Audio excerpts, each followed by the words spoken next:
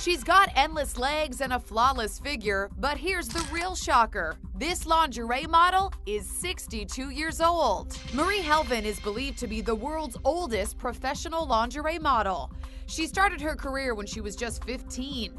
Now, fast forward almost half a century later. This behind the scenes video shows Marie in a photo shoot for Always Elisa lingerie. She strikes a sultry pose in a violet bra and panty set.